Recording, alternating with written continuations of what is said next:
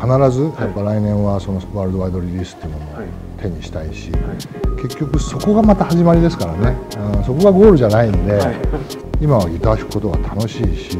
先ほど言った自分のフレーズに行き詰まってるっていうことを全く感じない。今はなんか指先から溢れるようにあの音が出てくるしやっぱそういう自分のなんかメンタルとても僕は、あの僕のためになってると思います逆に改めてギターという楽器と向き合って